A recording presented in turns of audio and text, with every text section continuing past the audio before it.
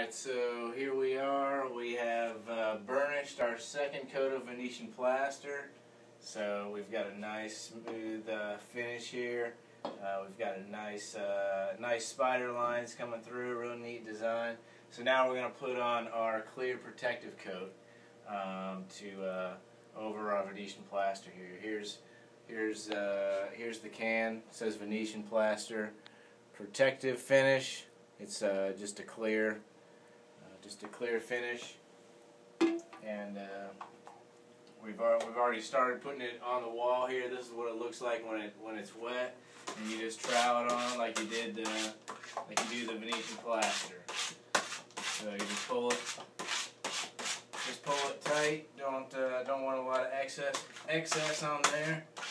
Um, but this is going to give us a nice uh, a nice shine all the way through. After we uh, after this uh, clear coat dries, then we're actually going to burnish this clear coat, and it's going to help uh, help bring out these uh, these these lines, make it look super shiny. This wall is going to look like glass uh, after we after we burnish this this final protective clear coat. So. We'll get back to that.